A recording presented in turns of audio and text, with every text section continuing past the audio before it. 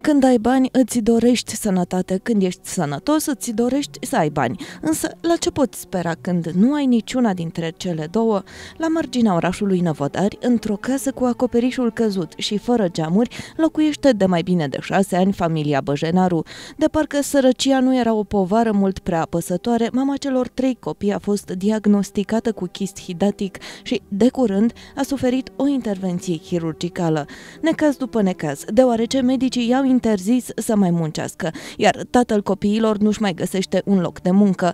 Bărbatul muncește cu ziua pe unde apucă, iar singurul venit al familiei este alocația micuților.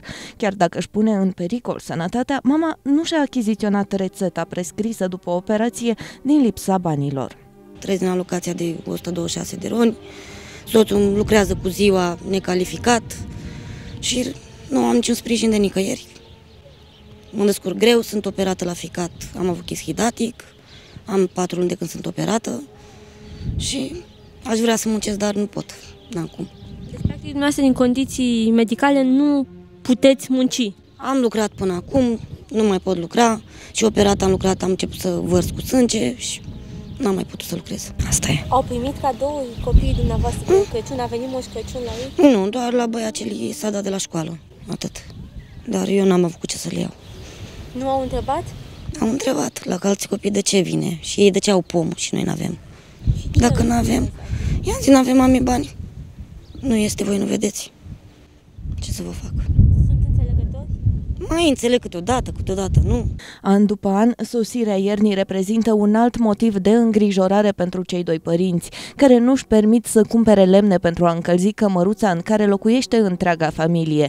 Disperați, pentru ca micuții să nu îndure frigul, soții Băjenaru au adunat și crengi de pe stradă pentru a face focul. Ați avut căldură? Ați avut lemne? Uh, Nu prea am avut. Am fost acolo la Imaia și curățam pom din ăștia. Crengi, pom din ăștia tăiam și aduceam.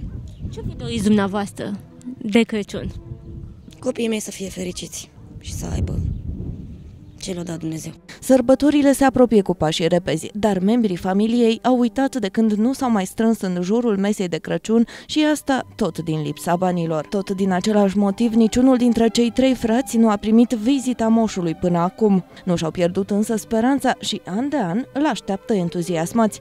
Totuși, nu înțeleg de ce moș Crăciun îi ocolește de fiecare dată pe ei, dar sosește la colegii lor. Marginalizați de colegii de grădiniță și școală datorită condiției sociale, cei mici au reușit totuși să-și păstreze inocența caracteristică vârstei. Nici nu au auzit de jucării sofisticate, cu atât mai puțin să-și dorească telefoane mobile sau tablete performante. Ca și moșul, ne întrebăm ce lucruri simple își pot dori niște copii greu încercați de soartă. La ce-ți dorește să-ți aducă anul acesta Moș Crăciun? Să-mi aduc o păpușă Barbie. Atât? Da. L-ai văzut vreodată pe Moș Crăciun? Nu.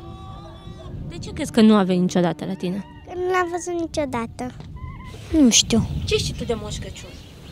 Că este bătrân și că se descurcă mai greu cu ceilalți copii. Da, și A venit, cole- a venit Moș Crăciun la colegii tăi uh, da, a venit. și le-a adus cadouri?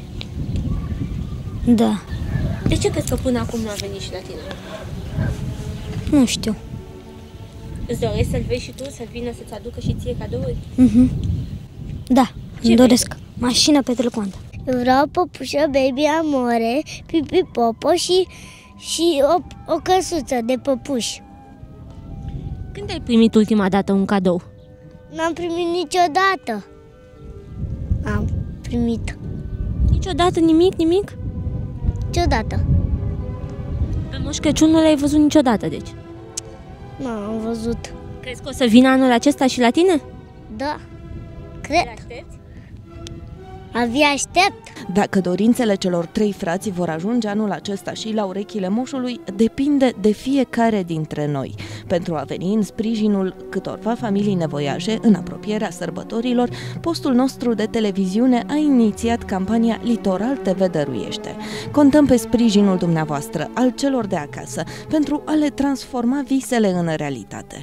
Orice contribuție este binevenită pentru orice fel de donații, haine, rechizite, alimente și nu numai, vă așteptăm zilnic la sediul redacției noastre. Împreună suntem mai buni, împreună putem dărui.